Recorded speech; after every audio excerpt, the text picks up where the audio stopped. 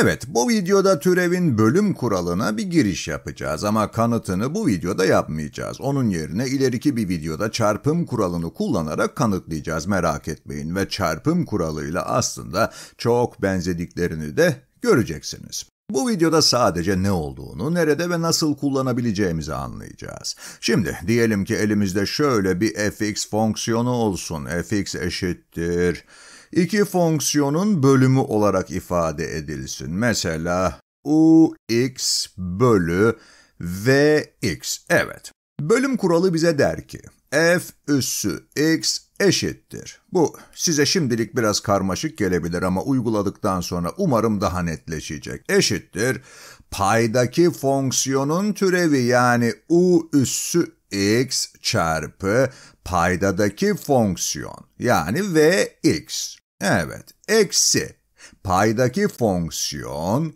ux, bunu maviyle yazayım, evet, ux çarpı paydadaki fonksiyonun türevi v üssü x. Şimdiden çarpım kuralına benzedi bile değil mi? Eğer burası ux çarpı vx olsaydı ve türevini alsaydık bunun artılısını elde ederdik ama şimdi burası eksi. Tabi henüz bitirmedik. Sonra da bu ifadeyi paydadaki fonksiyonun karesine böleriz. Bölü ve x'in karesi. Evet. Şimdi bu kuralı bir de uygulamaya çalışalım. Diyelim ki fx eşittir x kare bölü kosinüs x olsun. Evet böyle olsun.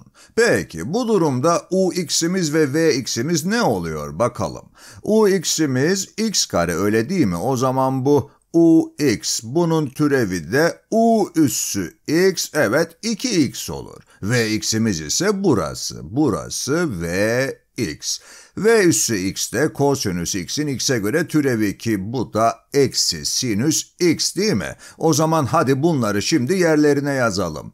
Formüle göre f üssü x eşittir. Paydaki fonksiyonun türevi yani buradaki 2x öyleyse 2x çarpı paydadaki fonksiyon v x yani sadece kosinüs x çarpı kosinüs x eksi paydaki fonksiyon o da x kare değil mi? x kare çarpı paydadaki fonksiyonun türevi yani kosinüs x'in türevi bu da eksi sinüs x'ti. Evet eksi sinüs x. Bunların hepsi bölü, evet bunların hepsi bölü paydadaki fonksiyonun karesi. O da kosinüs kare x. Bunu böyle de yazabilirdim. Kosinüs x'in karesi. Evet böyle de yazabilirdim. Aynı şey ikisi. Hatta böyle yazayım. Daha net anlaşılıyor.